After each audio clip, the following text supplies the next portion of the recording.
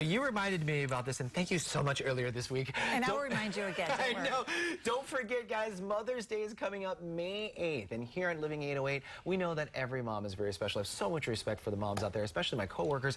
But we're partnering with Honolulu Cookie Company to give the ultimate ultimate Mother's Day gift. Now, you can nominate your mom by telling us why she is the best. And for the top five winning moms, Trini and I will surprise her with a large assortment of delicious Honolulu Cookie Company products. Now, she will also be featured on Living 808. And one grand prize mom winner will get a Cookie of the Month membership for the entire year from the Honolulu Cookie Company. Oh, you can't go wrong with that. So make sure you nominate your mom today. It's easy. All you have to do is go over to honolulucookie.com.